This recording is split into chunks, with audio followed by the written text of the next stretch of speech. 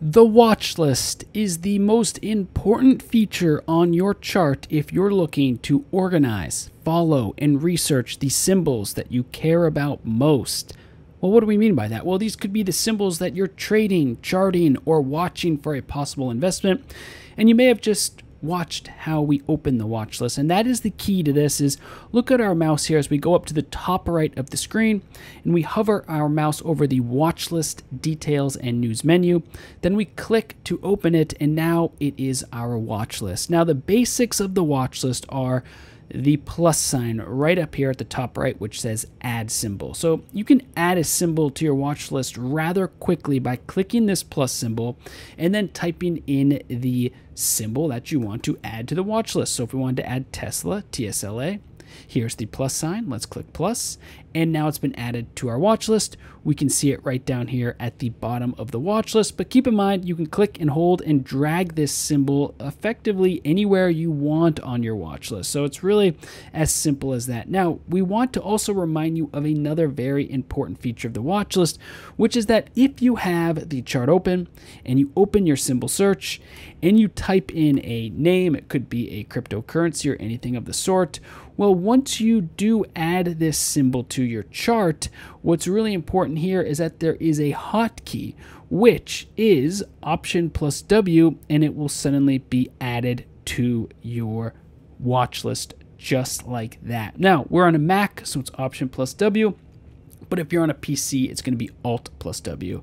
When your watch list is created, you can think of this uh, a lot like any other you know spreadsheet or or list that you've worked with. You're going to see there's a little X here so you can quickly remove specific things from your watch list. We just demonstrated how you can move symbols around on your watch list by clicking, dragging, holding, then releasing. In addition, you may notice that we have a really neatly organized watch list here by what's called sections. So sections are how you attach these symbols in your watch list to a specific section crypto, crypto layer ones, currencies and FX, interest rates, commodities, US sectors, US equities.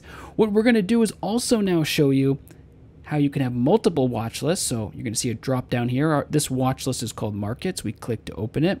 And what we can do is open up a watch list that doesn't have any uh, sections at the moment. So actually this one says example of a section, but let's delete this.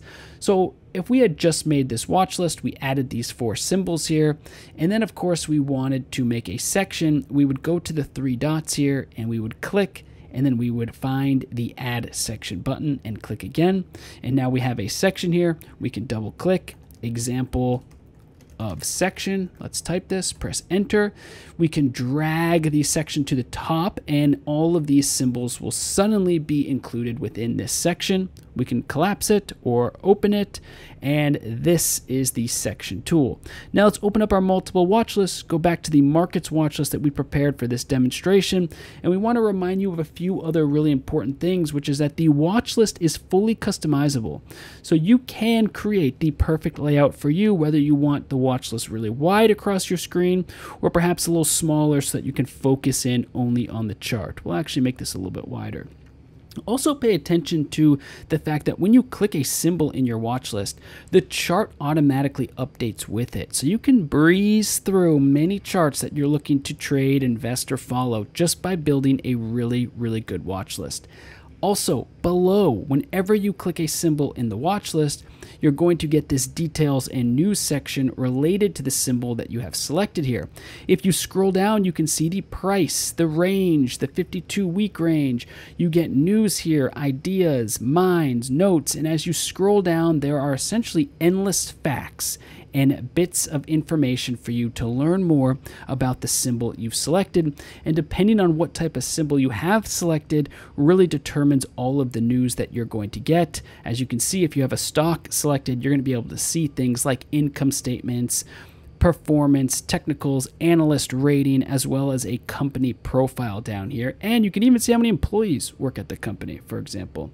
One final note is that you can write notes. So these are some example notes that we just prepared for this video. And if you just type in, this is an example, you can create your own note taking process here and take daily notes about what's happening on your watch list. One final thing before we head out is we want to turn your attention to advanced view. So if you want your watch list to look at an advanced view like this that's also shareable so you can share your watch list with friends, colleagues, professionals, social networks, anything of the sort, you're going to want to click the advanced view button and from here you can get an advanced view of your watch list on one giant screen that can be sorted with different breakdowns and it will be perfect especially if you're looking to share it out across the web. So thanks so much for watching. Get started with your watch list today.